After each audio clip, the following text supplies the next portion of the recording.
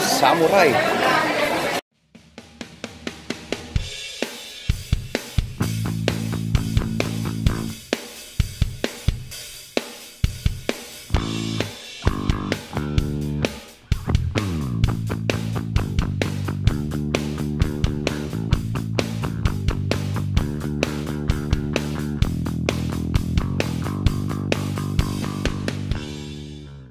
Ano ba ang sangkap niyan? Fried shrimp, das, mix, tsaka sweet.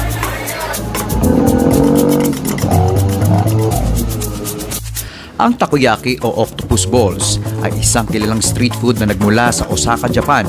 Naging tanyag ito mula 1935. Ang traditional na sangkap nito ay dashi flavored butter, octopus, pickles red ginger or shoga, green onion, at tempura scraps o tenkasu.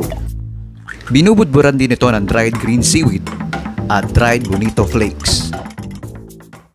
So this is it, pansit.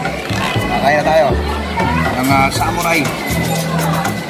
Medyo nakakapaso na talaga itong uh, kinain mo ng biglaan. Without me, tubig ka agad. Sarap. Nostalgic ang nasa.